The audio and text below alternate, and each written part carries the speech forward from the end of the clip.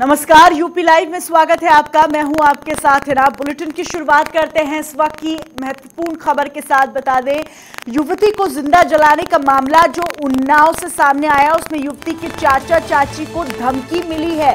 आरोपी युवक के रिश्तेदार दे रहे हैं धमकी। फ़ोन पर चाचा चाची को दी गई धमकी। जीने नहीं देंगे और जीने नहीं देने और दुकान जलाने की धमकी दी गई।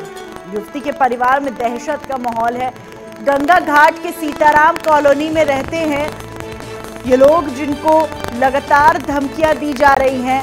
आरोपी के परिवार वालों की तरफ़ से अब पीड़िता के घर वालों को धमकियाँ दी जा रही हैं। दहशत का माहौल फैलाया जा रहा है और इस तरीके से एक और उदाहरण यूपी में जंगल राज का सामने आ रहा है।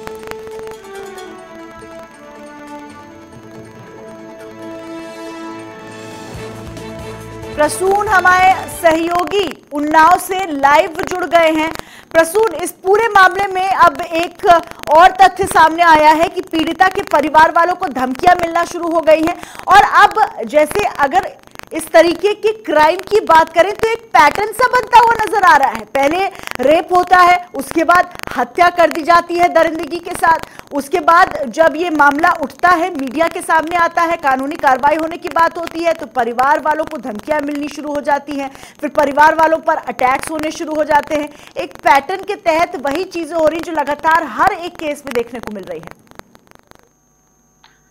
जी, बिल्कुल जिस तरह से ये पूरा वाकया सामने आया है, अभी जो शुक्लागंज में रहने वाला जो पीड़िता के चाचा और चाची हैं, उनकी तरफ़ से ये बयान आया है कि उन्हें धमकी दी जा रही है, जो जो आरोपी पक्ष है, उनकी तरफ़ से लगातार उन्हें धमकी मिल रही है, जिसको पुलिस ने तत्काल संज्ञान में लिया है और जो सर्किल ऑफिसर हैं, यहाँ के सीओ स्वयं मौके पर पहुँचे हैं और उनसे सुरक्षा की भी बात की जा रही है, शायद उन्हें सुरक्षा भी मुहैया कराई जाएगी, उनसे तहरीर भी एक मांगी गई है कि जिन लोगों ने धमकी उन्हें दी है, उन पर तत्काल कार्रवाई की जाएगी।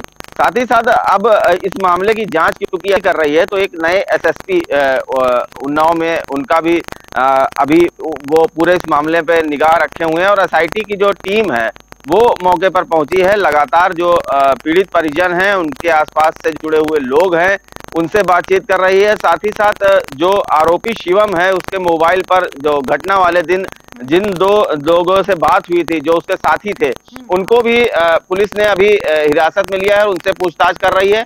इस पूरे घटनाक्रम में अभी तक जो एसआईटी की टीम है वो जाँच अपनी तेज कर चुकी है और साथ ही साथ जो दो अन्य आरोपी हैं जो दो इस घटना से जुड़े हुए और लोग हैं जिनकी मोबाइल फ़ोन पर बातचीत हुई थी उनसे भी पुलिस कड़ाई से पूछताछ कर रही है। हम्म। जी। प्रसून बड़ा सवाल इस समय ये खड़ा होता है कि सुरक्षा के लिहाज से क्या कुछ सुरक्षा परिवार वालों को प्रदान की जा चुकी है? क्योंकि पूर्व में इस तरीके के जो मामले हुए हैं उसमें हमने देखा है क्योंकि सुरक्षा में डील हुई थी इस वजह से एक बड़ी घटना एक परिवार को झेलनी पड़ी थी। इस वजह से सुरक्षा के अभी क्या कुछ? क्योंकि अभी उन्होंने पुलिस को बता दिया किस तरीके से उनको धमकी मिल रही है। तो सुरक्षा मुहैया कराई गई है या नहीं इस वक्त तक?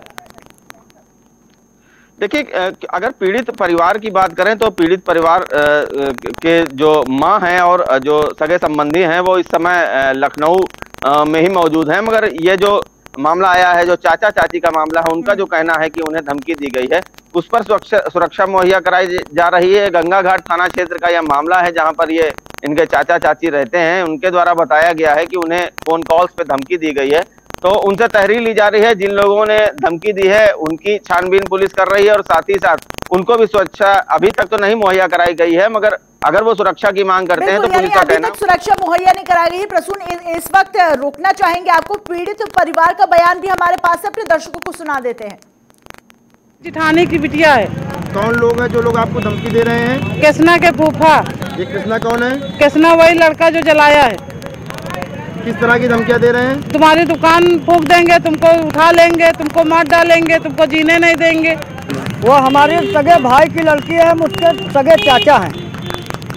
कौन लोग है जो आपको फ़ोन कर रहे हैं? जो उनके फूफा है जो लड़का जलाया है उसके फूफा लोग फ़ोन किया है हमें कि जो है आपको यहाँ जीने नहीं देंगे आपकी दुकान भी जला देंगे आप लोगों को भी यहाँ से उठा लेंगे।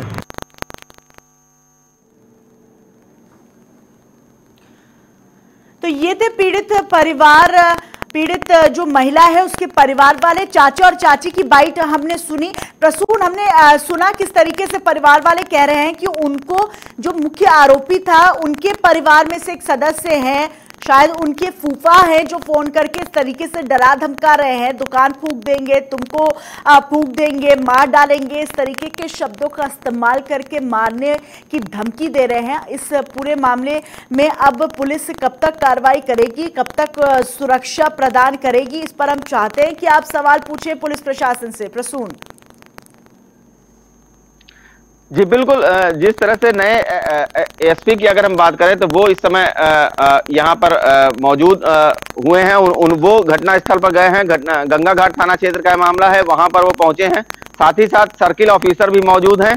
और इस पूरे घटनाक्रम पे जो चाचा चाची का बयान आया है, उसके बाद में उन्हें सुरक्षा मुहैया कराने, कराए जाने की भी है। उनका कहना खिलाफ भी तत्काल मुकदमा दर्ज किया जाएगा। उनके खिलाफ भी सख्त सख्त कार्रवाई की जाएगी। जी। तमाम जानकारियों के लिए शुक्रिया, प्रसून आपका।